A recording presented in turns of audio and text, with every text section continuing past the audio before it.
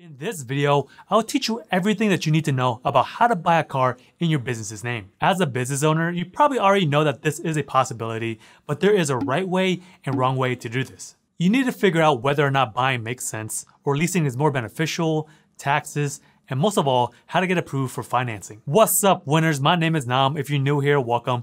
Here we talk all things personal finance and credit. Start now by subscribing so you don't miss out on any future videos. When you buy a car for your business, you can do it in your business's name or you can buy it directly for yourself. Both are perfectly feasible ways of doing things, but I'm about to show with you that there are some good reasons to do things in your business's name.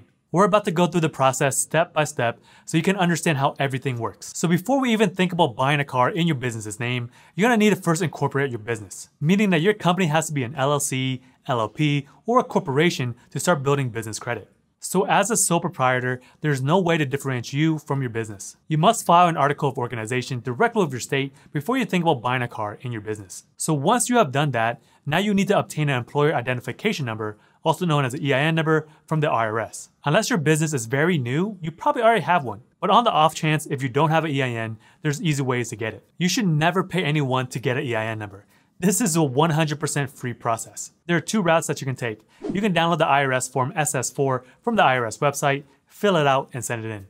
Or you can just file it online. The link will be down in the video description. Once you have gotten your EIN, you have to create a credit profile. To do this, you would want to contact Dun & Bradstreet. This is a credit bureau that specifically tracks business credit, and they're a little bit more hands-on compared to the consumer ones. You can actually create a profile on their website and even upload your financial statements. This can help you quickly build business credit, which is the first step of getting a loan. Dun & Bradstreet require you to have at least three trade lines or credit lines in order to build a score. There are plenty of business trade lines out there that offer net 30 terms meaning that you would have to purchase supplies for your business and within 30 days, you promise to pay them back. Some of the easiest net 30 accounts to get are from Quill, Grainger, and also Uline. All of these companies offer office and industrial supplies, so if you're any sort of business, most likely you will get some sort of value from any of these companies. Once you set up an account and start using them, they will report this information to Dun & Bradstreet, which will help you build your business credit. Another route that you can take is a low limit commercial card from retailers like Staples, Home Depot, or Walmart. Most major companies will report your payment information to D&B already,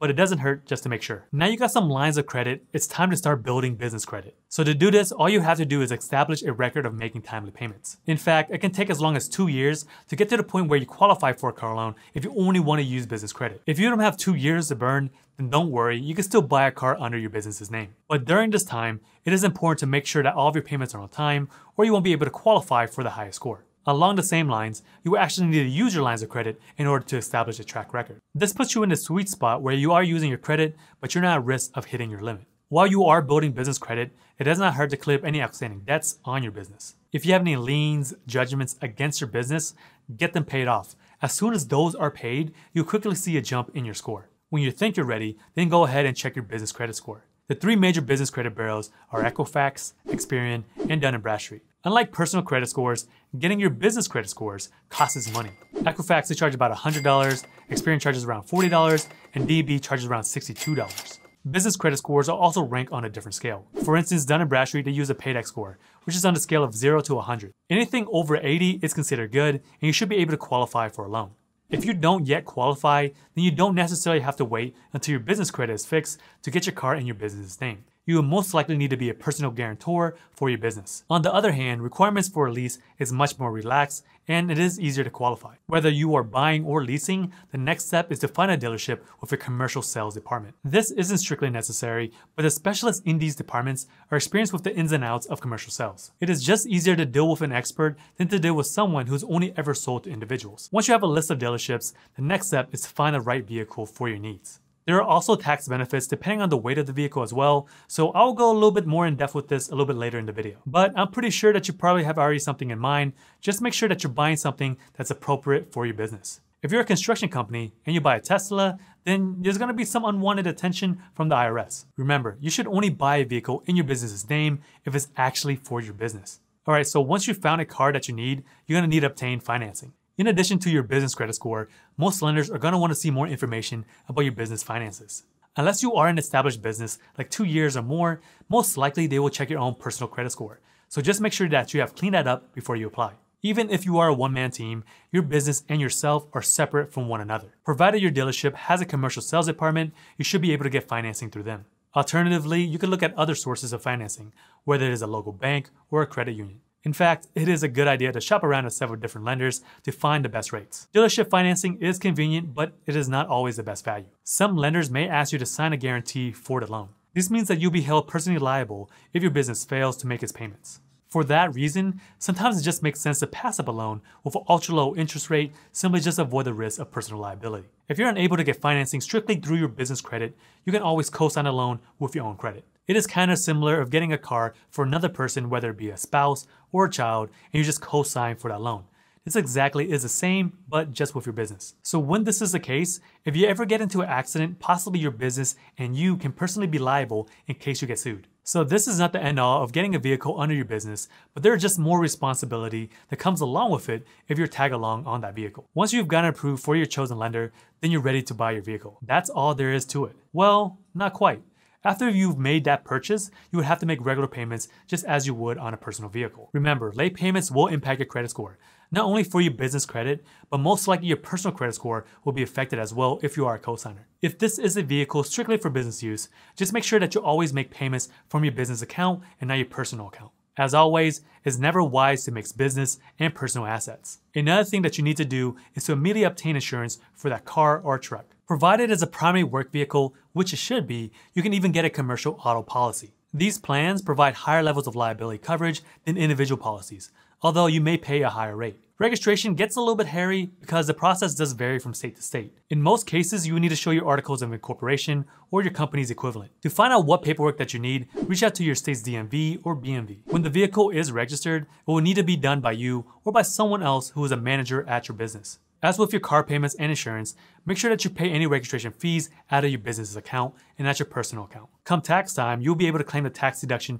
for the cost of the vehicle. With that said, the rules are kind of complicated and they're to be different depending on the type of company that you run. This is where having a good account really comes in handy. One thing to remember is to keep a mileage journal if you're paying for gas out of your own pocket. You can claim a tax deduction for any miles that you drive on company business. So what are the advantages of buying a car in your business's name?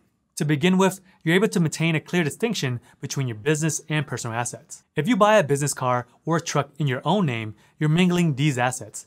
As mentioned previously, you can be personally liable if you get into an accident while using it for business use. As for the tax savings, it does make it a lot simpler, but it doesn't really matter if you have a personal vehicle that you use for business or you just have a vehicle that's strictly for business use. If you have a car that's 50% business and 50% personal, then you can write off that portion that's used for business. The one thing that gets passed around a lot between influencers and content creators is the Section 179 equipment deduction. This allows you to write off 100% of your vehicle within the first year if the vehicle is heavier than 6,000 pounds and under 14,000 pounds. Normally with cars, you would depreciate the asset over 5 years.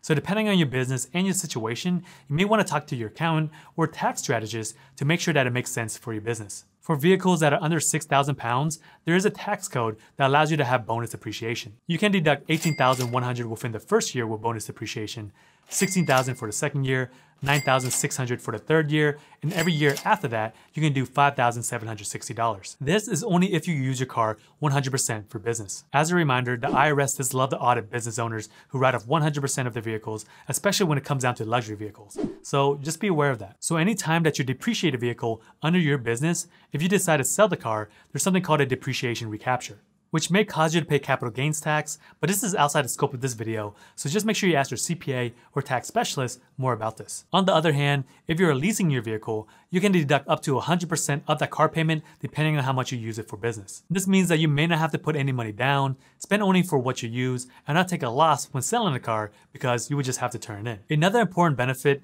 is the higher insurance coverages available on commercial vehicles. The last thing that you want to do is to get in a car accident and have someone sue you and watch your business go bankrupt.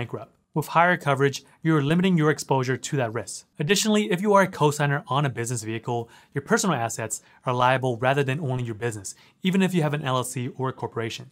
Even though I highly recommend buying your business vehicle in your business's name and not your personal name, there are still a couple of downsides. To begin with, the purchase process is a little bit more complicated. Even if you are an established business with good credit, it can take several days to complete the transaction. This can be problematic if you need to buy a vehicle immediately. Another downside that's with increased insurance coverage is that you also get higher premiums. This is annoying, but is usually worth it in order to get better coverage. Now, we only been talking about buying in your business's name, but what if you don't have enough business credit or you need to buy a vehicle right now? In that case, you might not have any other choice to buy a car in your own name. To begin with, this only works for passenger vehicles and light work vehicles. If a truck weighs more than 10,000 pounds, then you won't have any choice but to register it into your business's name. Buying a car normally is pretty straightforward.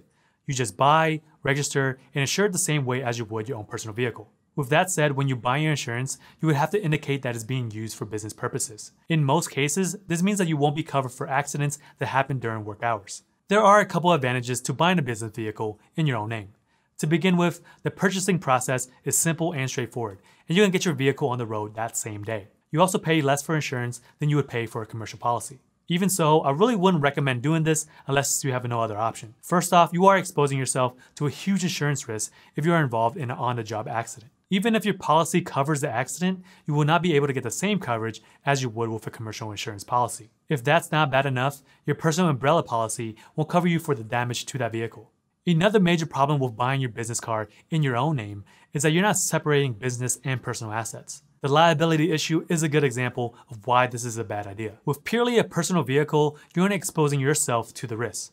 With a purely commercial vehicle, you're only risking your business. With a mixed use vehicle that's registered in your name, both you and your business could be liable in event of an accident. Not only that, but if you change your mind later on and you want to register your vehicle under your business's name, the business will have to cut you a check and pay the sales tax on the transaction. And even if you set the price as low as a dollar, you would have to pay tax on the fair market value. So what did we learn today? As long as your business has good credit, buying a car in your business's name should be quick and painless. And if your credit isn't great, you can always consider a lease. But regardless of the method that you choose, if your personal credit is not that bad, then you can always be a co-signer for your business vehicle. If you want to know how to get the best deal on a lease, come hang out with me some more over here. I'll see you over there.